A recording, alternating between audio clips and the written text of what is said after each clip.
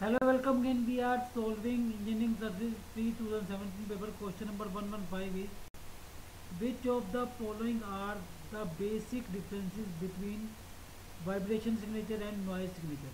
One, vibration signature is essentially in the frequency range 0 to 100 cycle per second, whereas noise signature is in the range 20 cycle per second to 3000 cycle per second.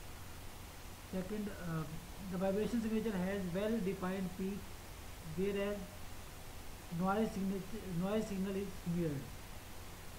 Three, uh, the intensity of noise signature is are much less than that of vibration signature. Four, detection of vibration signature calls for a microphone, whereas that of noise can be do with a pickup. Select the correct answer using the code given below. Option A 1 and 4, option B 2 and 3, option C 1 and 2 and option D 3 and 4.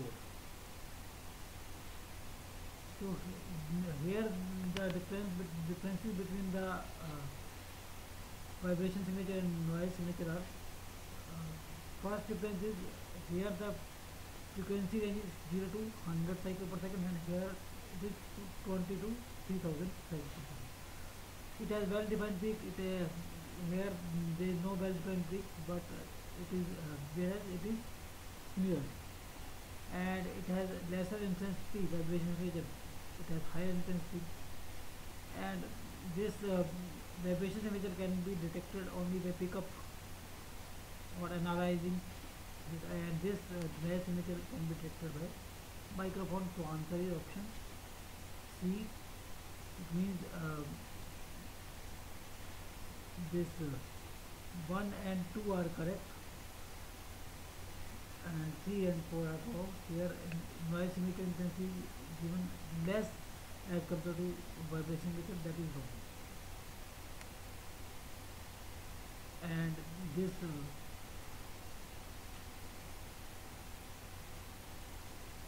and it is detected by pickup That is, uh, these are the two wrong differences.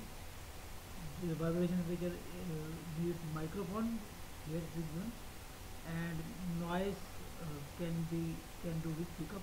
So reverse is right. So answer is option C, one and two.